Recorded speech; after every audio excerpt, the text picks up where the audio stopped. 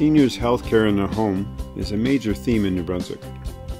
We have systemic challenges to how we look after our aging population. Today's guest is Karen Lake. She is a senior home care specialist and care navigator. Her conversation takes us into many of the details about how to provide home health care, the systemic change that's needed that could also create many jobs, and the notion of using a snow globe as an image for how we need to turn the system upside down and turn it back up and watch the new pieces fall into place. So, welcome to the show.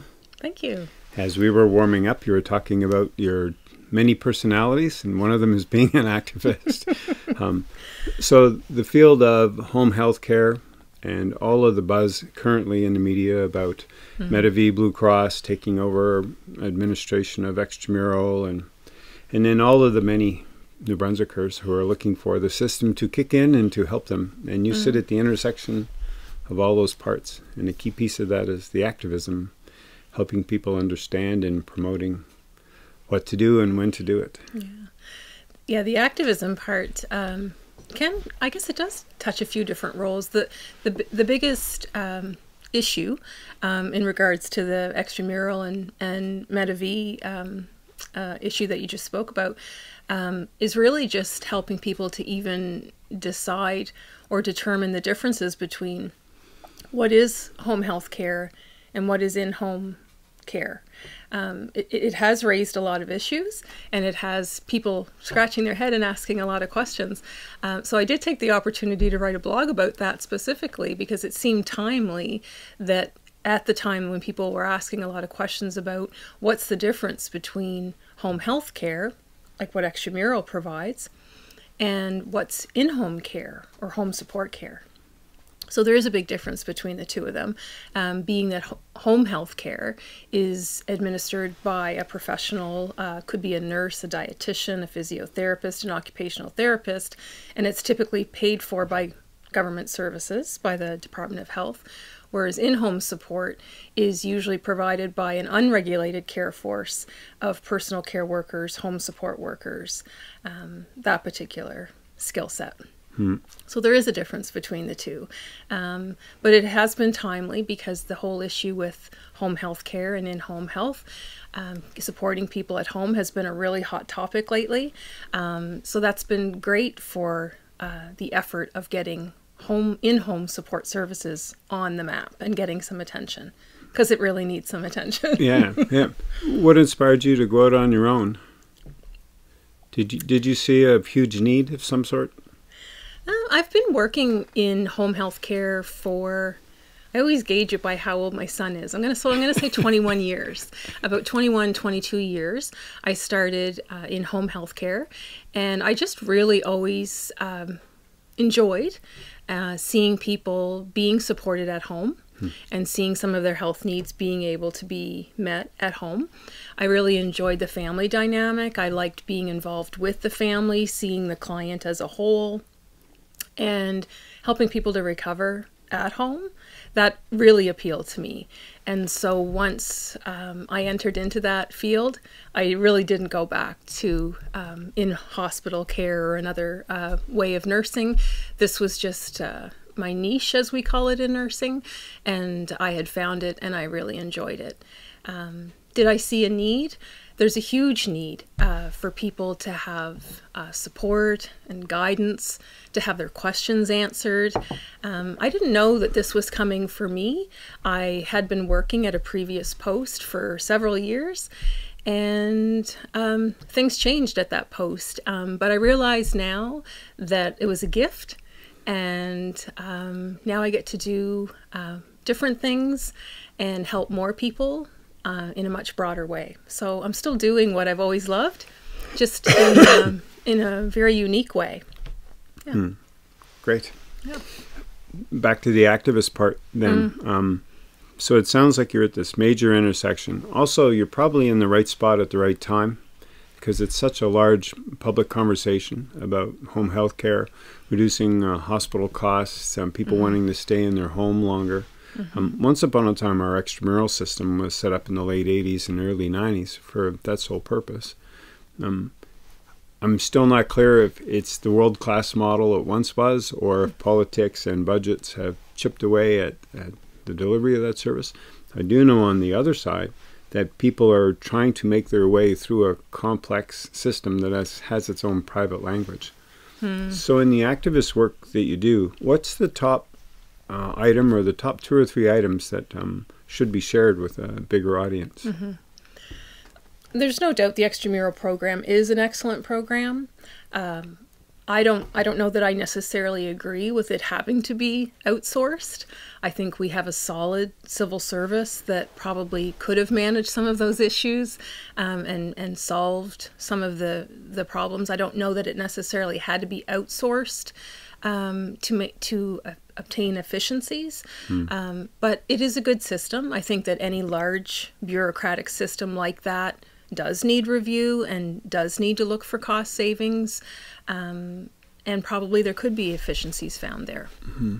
Where I feel that there could be more benefit um, from outsourcing and integrating with Ambulance New Brunswick would have been looking at the other end of the spectrum and looking at these in home support caregivers um, who are grossly underfunded in our province and have been for many years.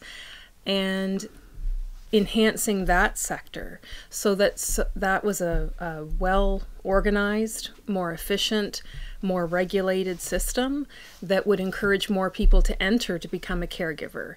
I, I truly believe if we had more in home personal support workers, mm-hmm. there could be a lot more people supported at home. I think a lot of people end up going to hospital because their caregiver, if they're fortunate enough to have someone, yeah. has become burned out or has become tired and has just raised their hands in in they're in fatigue they're in burnout mm. and they really just can't handle the responsibility any longer.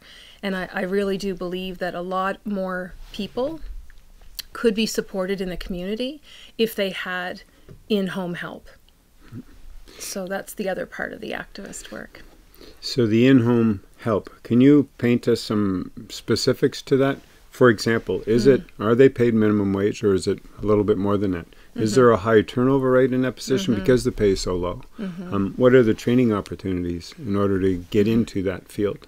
Mm-hmm. There are training organizations in the province, and they typically train personal care workers. Um, there's a tuition, they use a standardized curriculum and it, it is more costly. You are in class for the entire duration of your course and you do your curriculum and then you find a job. But the way that the service providers or the agencies, if you will, that employ home support workers and personal support workers in the province, they have had to adapt a train as you go method or they have to train their own staff. So, in order for them to even have enough staff to fulfill your request when you call to ask for help for your family member, they have to train their own people. And so they're always constantly recruiting, hmm. training, and putting them out to work while they're training. And I really don't think that's a very efficient system. I mean, personally, if I was to hire someone to look after my parent, I would want them to have the training and the experience, not be a personal support worker in training. In process. Um, so that's a that's a really big challenge that the service providers or the agencies if you will um, who provide these services face is because they have to train their own and they are they're having to absorb that cost um, the program's grossly underfunded, and the staff are paid a little bit more than than minimum wage, as you had said. Mm. Um, the rate is typically around the thirteen forty per hour mark. Uh, some have benefits, some do not. Some pay mileage, some do not. They have to contribute to the cost of their training. Um, yeah, it's not it's not a, a very well organized system and therefore you just don't have the appeal of and people are not um, encouraged to go into that type of system yeah.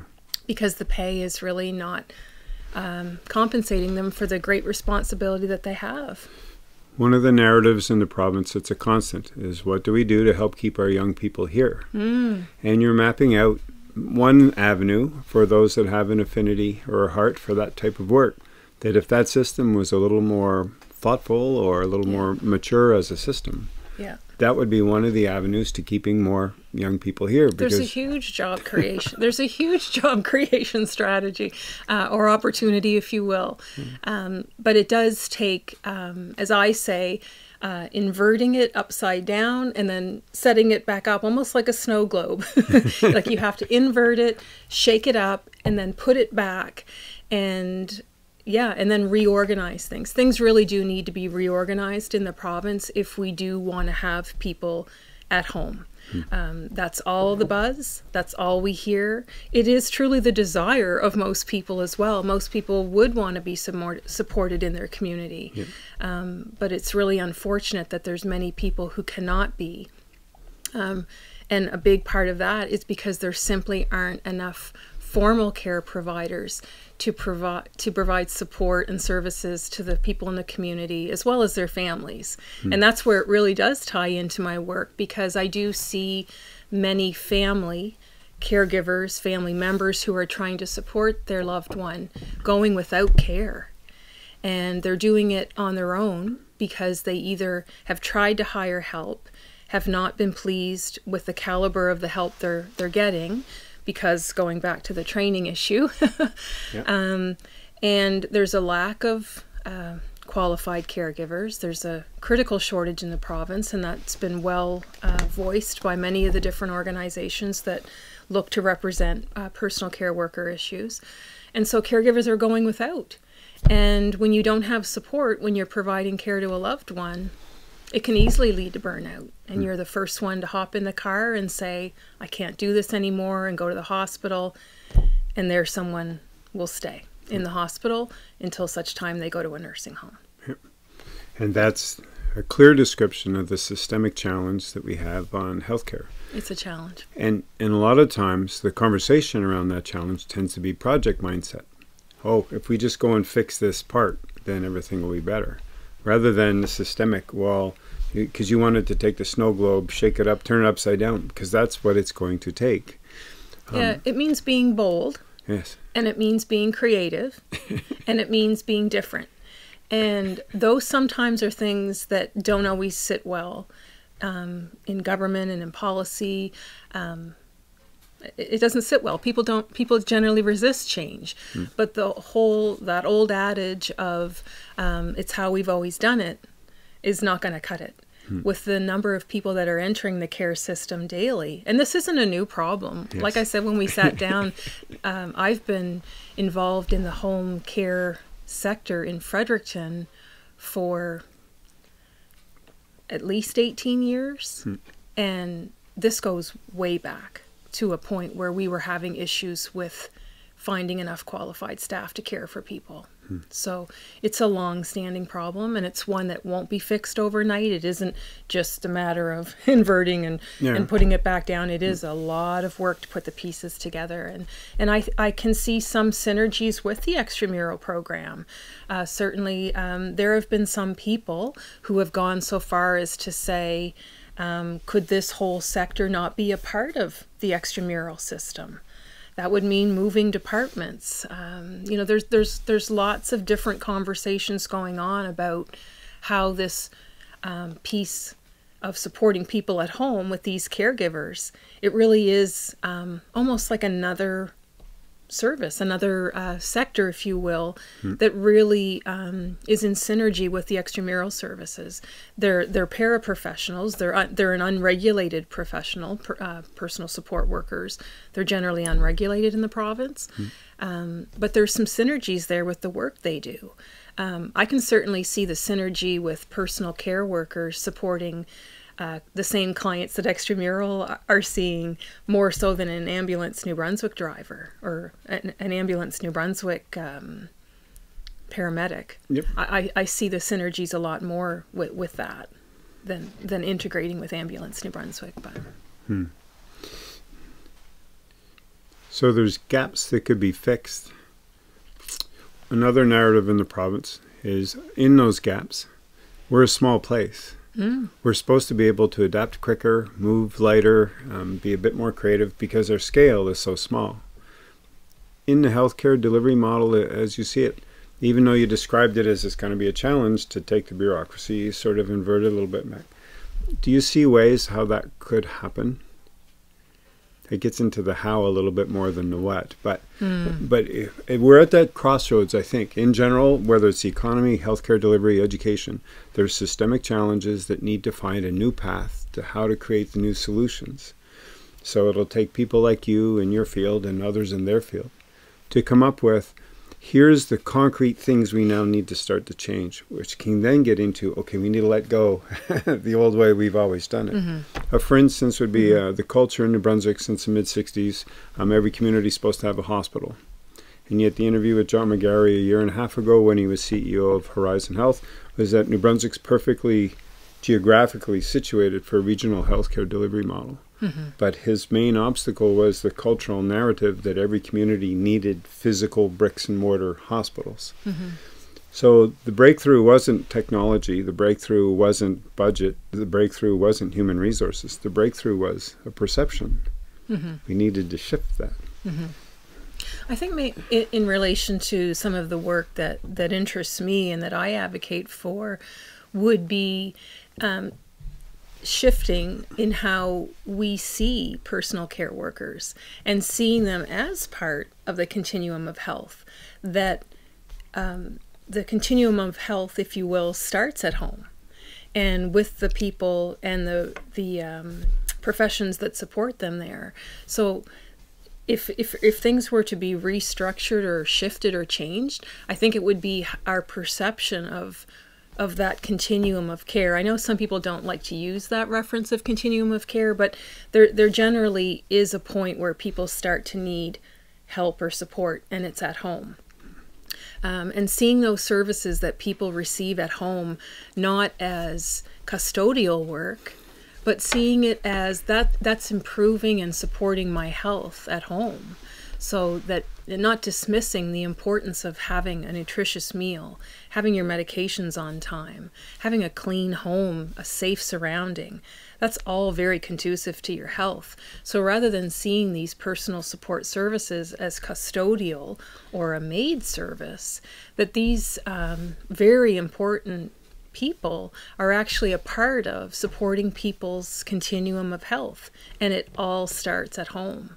So I think that's the biggest shift we need to make in the province is seeing this work as somewhat less important or seeing it as um, custodial is the word that keeps coming to me, but um, that it's actually a part of it and that it's a really uh, integral part of it.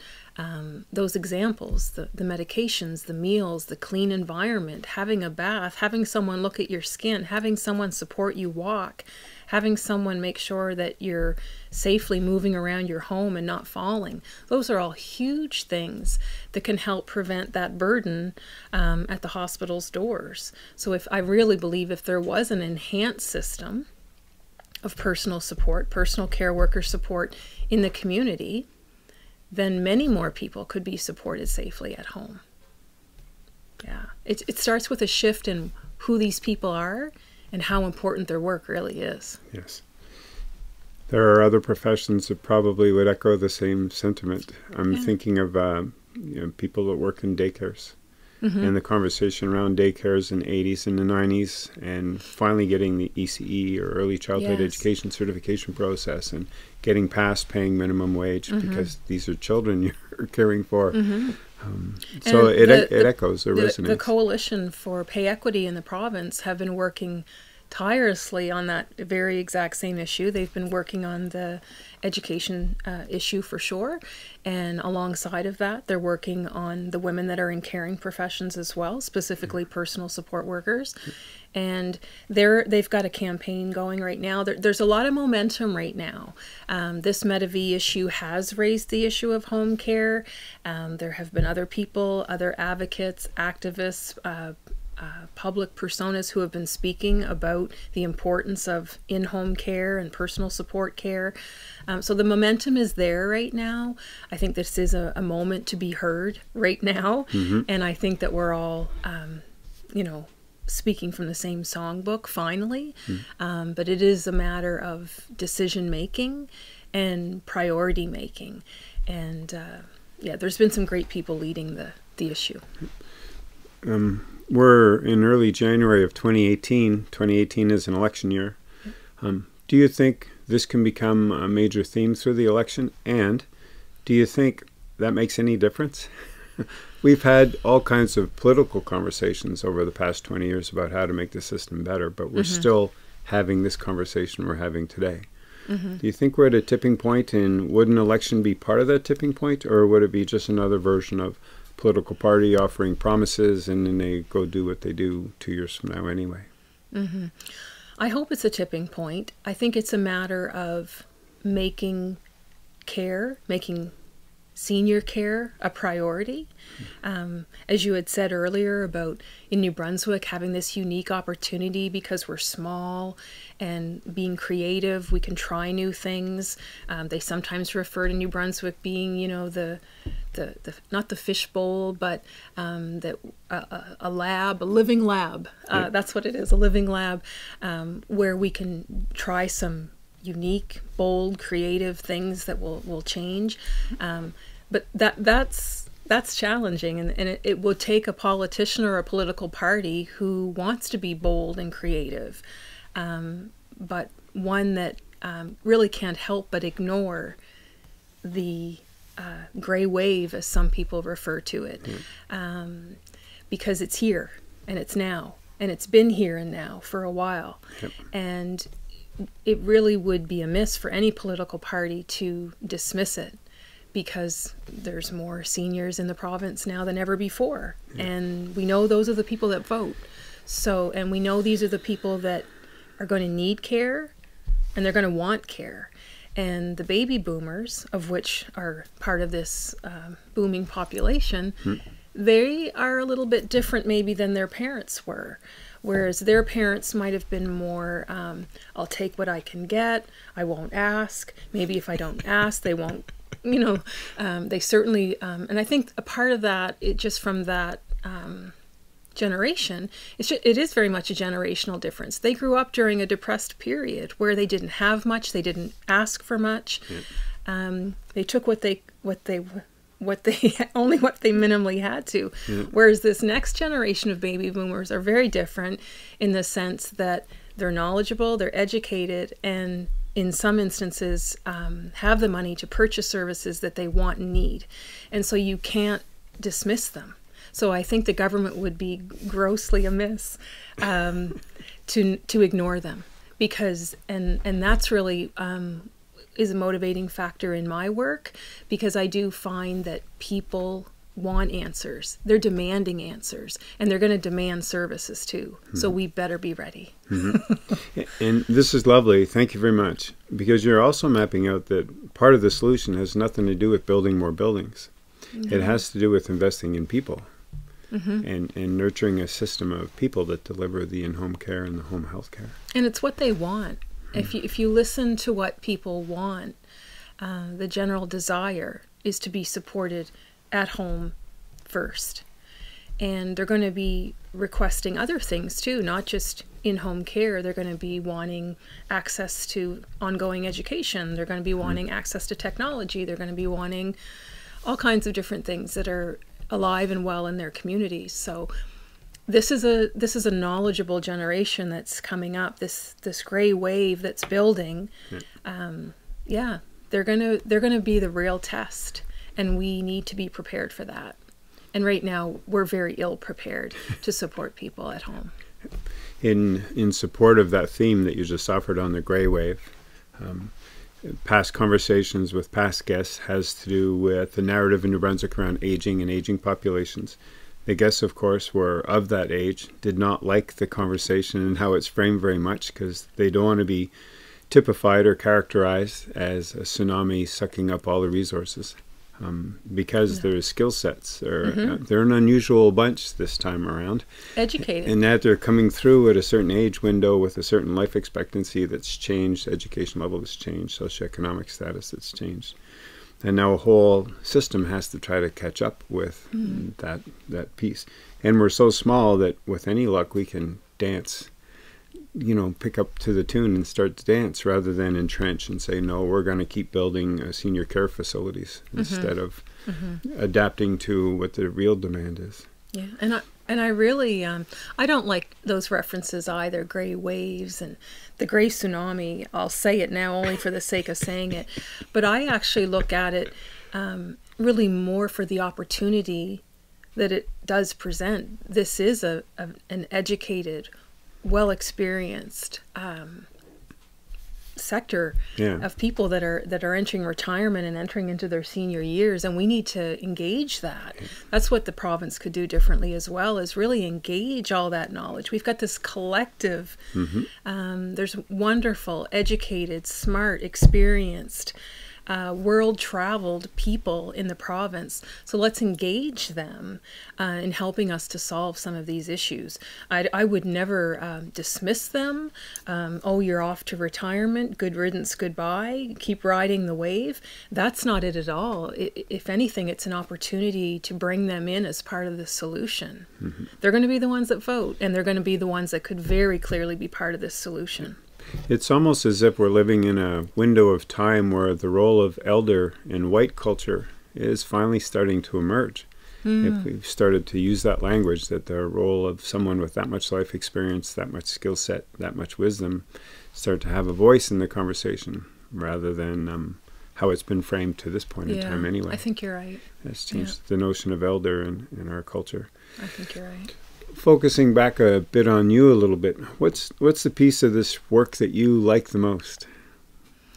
Well, I've really narrowed it down. Um, heading into year two um, of uh, owning a new business, and and and you know you're you're pivoting and trying all kinds of different things. Yeah. Um, the thing that it's really boiled down to for me is supporting caregivers. And I realized um, that I do that in a lot of different ways.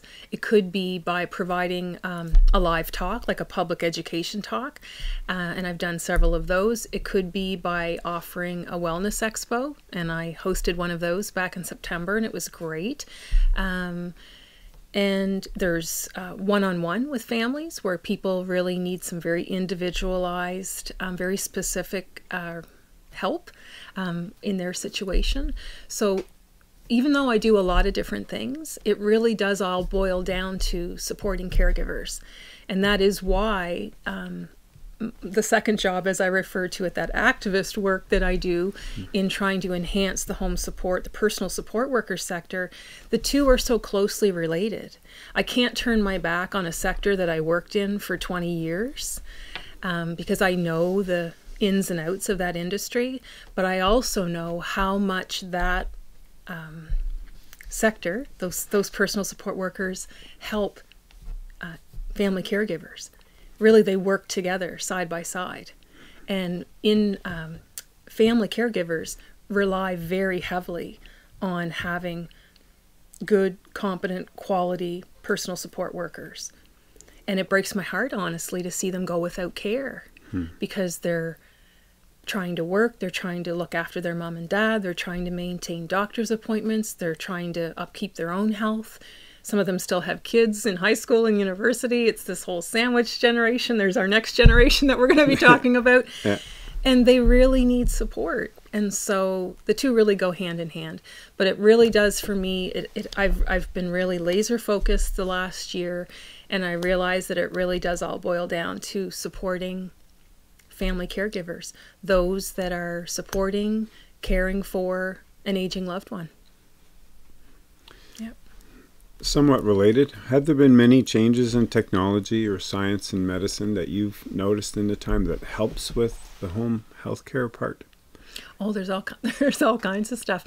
Um, yeah, as far as like technology, uh, like things that are available for people. Yeah, there's there, there's everything. There's there's devices that um, I mean the the devices that some people know about, like the Lifeline buttons that people fall, the I've fallen and I can't get up commercial that some people remember. Um, there's there's definitely the Lifeline gadgets, but um, the the medical device uh, uh, fall detection devices they actually can serve other roles too. They can remind people to take their medications. Uh, they have voice prompts that come in that tells you it's time to take your medication. Um, there's even dispensers that will, on a certain time code, dispense the medication. There's nanny cams um, for people that maybe are hiring in-home services, but they still want to keep a, you know, have a visual of what's happening um, at mom and dad's house. There's all kinds of applications now too, and there, has been a couple that have been um, in the development phase here locally, actually. Uh, some applications uh, for your phone whereby you can log on and see what's happening with mom or dad. So you could be living in another province and log on to your app, and if if it's all connected through each phone, then you can you can see different uh, things that are happening with your parents. So I mean, like literally see. Well, if you had a, one of the cameras, camera setup, yeah, like some people refer them as nanny cams. Okay. Um, but where there is an actual monitoring device, so if you're concerned about your loved one roaming or moving around at night or right. getting up, um, or maybe having had a fall, then you can visualize it on your phone. Yep. There's all kinds of technology. And on the flip side of the technology is that there's all kinds of technology support now for seniors to learn about how to use it. And I know that you had Sally on your show and talked about um, DigiLearn and all the great work they're doing. So it's just ev- it's just everywhere. And um, it just adds to some of the supports that can help uh, a caregiver especially if you're a long distance caregiver. And that's a reality in New Brunswick hmm. because a lot of the sons and daughters, um, they all got educated and some of them got jobs and moved away. Yep. And so I know some of the caregivers that I've spoken to have been as far away as Switzerland, Japan, New York. Um, they just don't live in New Brunswick anymore, but they are their parents are still here and they still have some connection to the community. And so um, technology like that becomes um, well, it's it's just a, a win-win for them yeah. because it just gives them an added peace of mind. Yeah. yeah. Thoughts for what you think people should know when they get started with all of this. So, mm. um, there, I just did the um thing.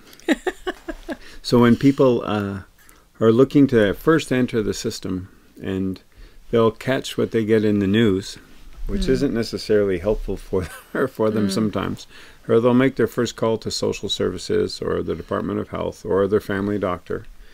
And then they're trying to muddle through. Is there, mm. you know, just a little tidbit or a hint or a tip that you could give them about, don't worry, it'll work out, or, mm-hmm. you know, just yeah, it's, just it's, that first wave because it's it's like learning a whole new language. All of this is coming at you at a time when you're not completely in crisis, but you're feeling the impending mm. edge of a, a crisis if we can't get action at a certain time.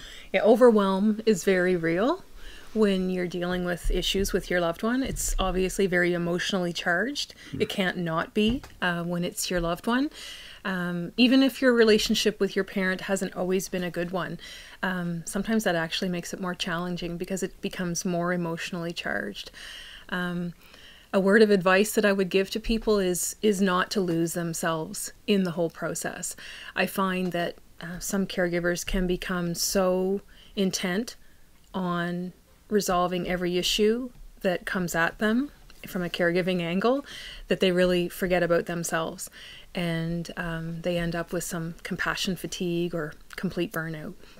So, in a lot of the work that I do on my social media, it really is to try to um, provide that motivating factor that really is required um, to know that you're not alone, um, that it will get better, um, to focus on what you can change, not what you can't change. Um, just some motivating um, pieces because it can become really draining really fast. So I would I would encourage people to not lose themselves in the whole process of it. Um, but knowledge is power, and I, that would be the second thing would be about getting educated. Um, but the amount of information that's out there can be overwhelming. And so uh, you have to be really um, selective because your situation is very unique to you and it's very select. Um, there's no shortage of information on senior care, elder care, care for the disabled, community care. It's everywhere. It's coming at us radio, TV, internet, it's coming to us from friends, neighbors, every, everyone and everywhere. Um, there's no shortage of information. It's how do I narrow that down into what I need, and very specific to what I need. Yeah. We haven't touched on the financial stuff very much. Um, mm-hmm. Could we explore that a, a little bit? Typical of the pattern. Oh, I think I need some help, and how much is it going to cost? So, can we wander? Mm-hmm from mm-hmm. your perspective and your experience what the financials are like for people needing home health care sure. or for see if i can explain this well. Um, for those that have saved well and are prepared to spend um, services can be purchased. If we're going to talk about in-home support from a personal support worker um, you can purchase those services if that's uh, the route that you choose to go. Um, if you need financial subsidy to help pay for that, then you would apply for government subsidy through social development. But yeah, it can get costly. If if you're looking for in-home supportive help, um, you're probably talking in the range between twenty and twenty-five dollars per hour. And if your parent needs I'll, I'll go really small and say three hours of help a day, which is relatively small, um, then you can see how that would add up fairly quickly. And one of the challenges sometimes in working with our seniors is that they don't want to spend, and that goes back to that generational difference that going through the dep- uh, depression and saving well and and um, keeping their money, uh, not wanting to spend it, and so um, they may not want to purchase the care, so they'll sometimes go without. And then on the other side, with social development, they may not want to divulge any of their financial information in order to go through the financial assessment process. So there can be some challenges in that area um, when you're working with your loved one because of may- maybe one of those situations. But it can get costly. And the most that would ever be subsidized by the province in New Brunswick is about eight or nine hours a day. So if you require more than that, then you would have to look at the next um, step, which would probably be like a supervised care facility, like a special care home. So unless you can um, finance all of your home care yourself, and there are some people that are in that unique situation, um, then the most you'll ever be subsidized by the province is up to eight or nine hours. Sometimes they'll, if they feel it's to the benefit, they'll look at each case individually, but I doubt you would ever rarely see more than nine hours a day approved. So if you need more than that, then you have to look at a different option. Mm-hmm.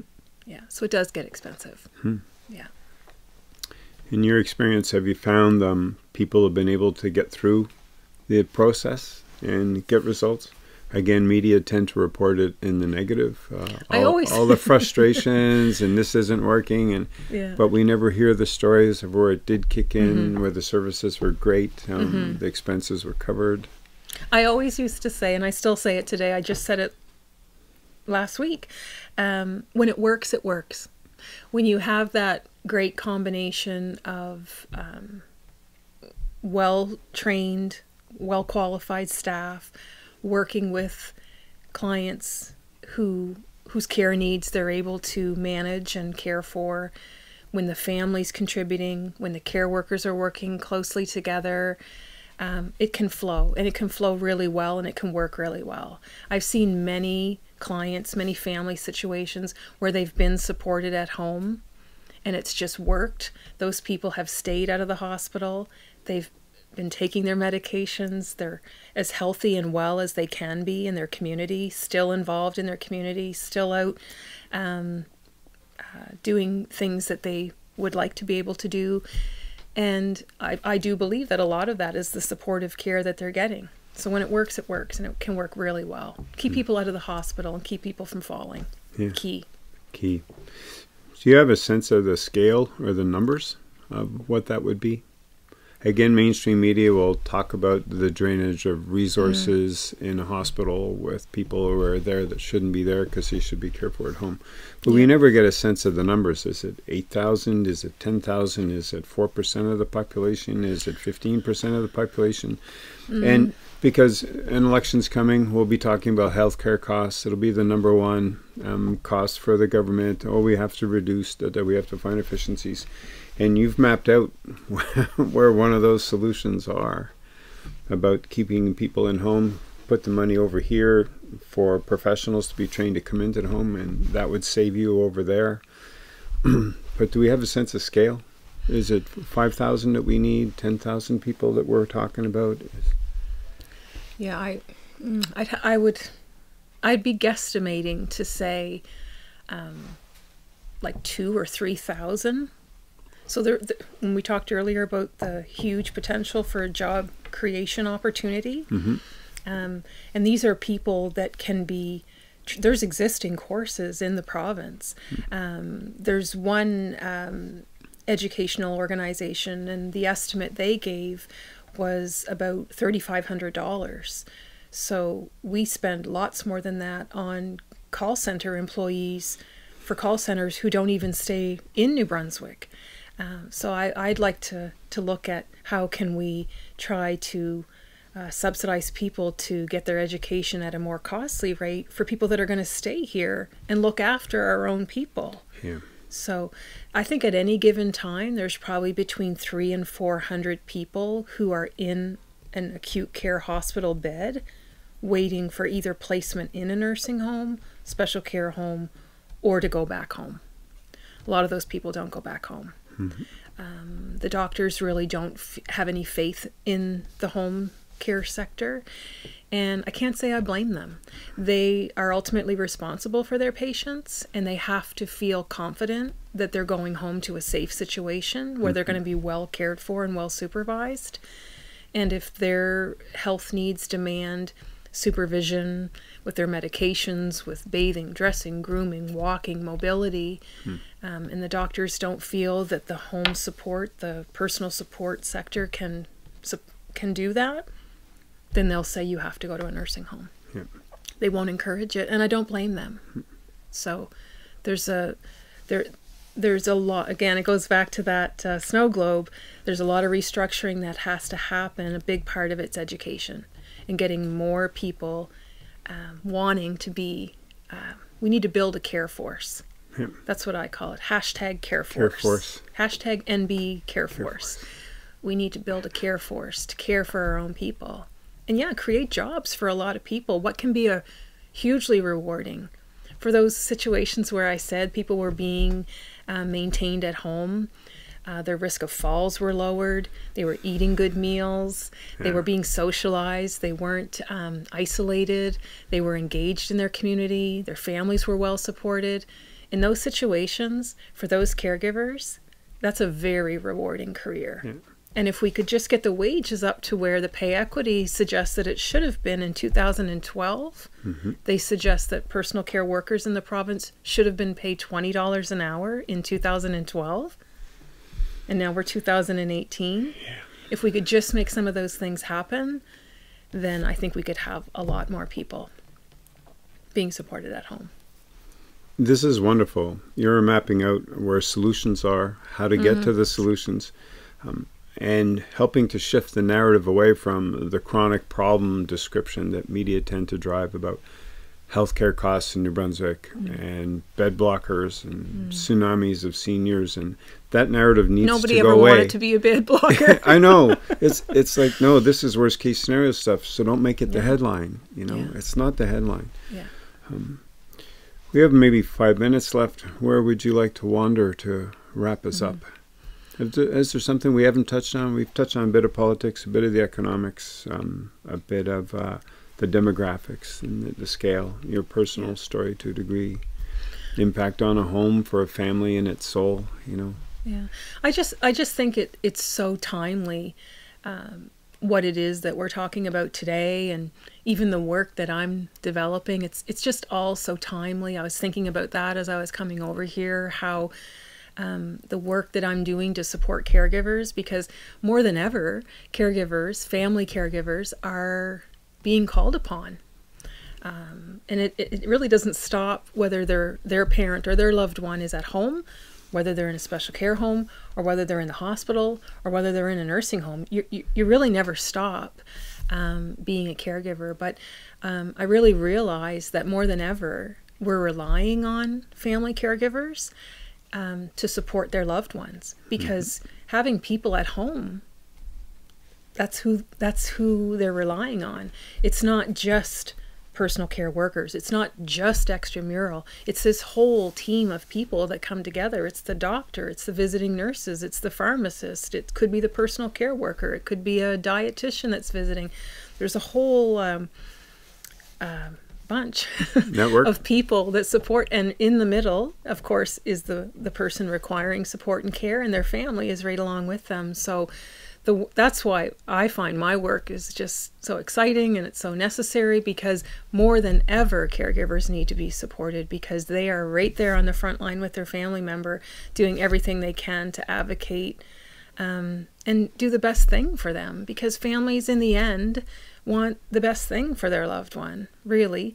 And so I just really consider it an honor that that I am a part of that. So um, that's why I think over the course of the last year um, that I've really just, as I said before, laser focused on supporting those caregivers in whatever it might be. It might just be they need a little advice. Maybe they need a lot of advice. Maybe they need a whole plan. Um, maybe it's helpful for them just to see a motivational post. Today's Motivation Monday. um, maybe a caregiving tip that comes up. Maybe that really lands for them and they thought, I never thought about that. Hmm. Um, maybe coming to a live event where they can um, hear that there's other people that are going through something similar, that it's not just me. Like a, like a lot of people are experiencing this. And having that mutual support, what I call a circle of care, where we all support each other. Mm. So it's, it's it's hugely exciting. I love it. Yeah. Thank you so much for Thank this. You. It's been Thanks, an amazing, wonderful conversation. Anytime. and thank you for watching. Be good. Have fun. Love each other. The Dennis Report is an independent media production. To support the program, go to DennisAtchison.com and click Become My Patron on Patreon.